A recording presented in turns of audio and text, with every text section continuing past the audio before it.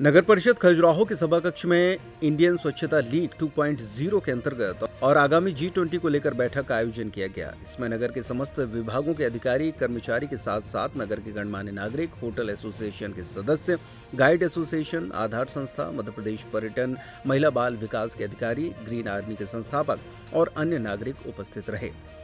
इसमें इंडियन स्वच्छता लीग के दिनांक 17 सितंबर को सुबह 8 बजे से 11 बजे तक आयोजित किए जाने हेतु सर्वसम्मति से सहमति प्राप्त हुई ये कार्यक्रम चिल्ड्रन पार्क से शुरू किया जाकर पश्चिम मंदिर समूह से मतंगेश्वर मंदिर और चिल्ड्रन पार्क पर समाप्त किया जाएगा सितंबर माह में होने वाली जी ट्वेंटी की बैठक को लेकर क्षेत्रीय प्रबंधक, मध्य प्रदेश पर्यटन विभाग, खजुराहो के एम एस राणा द्वारा सभी को विस्तृत जानकारी भी प्रदान की गई और विभागवार जिम्मेदारियाँ भी बताई गईं। जो है किस संबंध में नगर परिषद में मीटिंग आपने रखी है?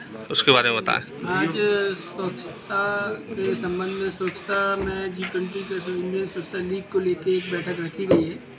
और जी ट्वेंटी भी हमारे यहाँ बीस तारीख से कार्यक्रम होना प्रस्तावित हुआ है। इन सभी दोनों विषयों को लेके बैठक रखी गई थी, जिसमें हमारे नगर के सभी सम्मानीय प्रबुद्धजन वरिष्ठ लोगों को बुलाया गया था। होटलों से आए थे और एम विभाग से और परियोजना से। सभी लोगों के साथ एक बैठक हुई और आगामी जो भी कार्यक्रम रहेगा उसके संबंध में सभी के द्वारा पूर्व में जो जी ट्वेंटी कार्यक्रम हुआ था, उसकी काफ़ी सराहना हुई। उस सभी को लेके आगे भी उसी तरीके से कार्यक्रम कराया जाए, जाएगा जिसकी सभी लोगों के द्वारा बैठक जैसा कि सत्रह तारीख को कोई प्रोग्राम होना, उसके क्या रूपरेखा है? इंडियन स्वच्छता लीग को लेके कार्यक्रम किया जाना है सत्रह तारीख को तो उसमें निश्चित किया गया है कि कार्यक्रम जो शासन केंद्र से है, उसकी गाइडलाइन कर